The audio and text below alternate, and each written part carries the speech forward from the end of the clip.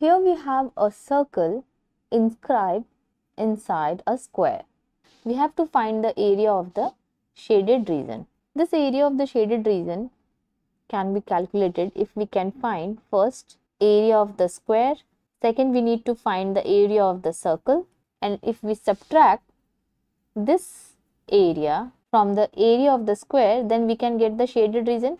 For example, if this is a square that is given then area of the square is this. Then area of the circle the inscribed circle will be this. And if we subtract this region from the area of the square then we can get this part which is the required region that we need to find. Now area of the square the formula is side square.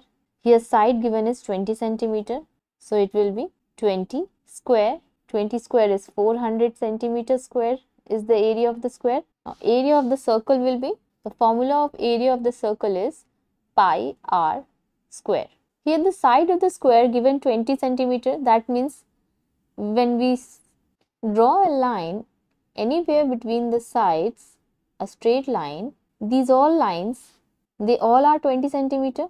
Now if this is 20 centimeter that means this is the diameter of the circle. If diameter of the circle is 20 centimeter radius will be half of the diameter.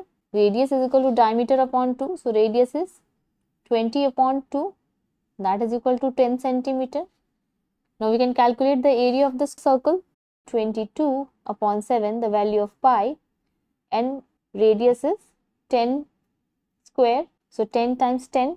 So, this is equal to 2200 upon 7.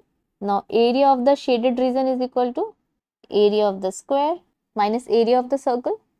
Area of the square is 400 centimeter square minus area of the circle is 2200 upon 7 centimeter square. Now let's take out the LCM or we can put 1 here in the denominator. It's 7. So this is 2800 minus 2200 upon 7 or 600 upon 7 or we can divide here 600 upon 7 that will be approximately equal to 85 of 8 4. So, this is how we calculate area of the shaded region. Like and subscribe. Thanks for watching.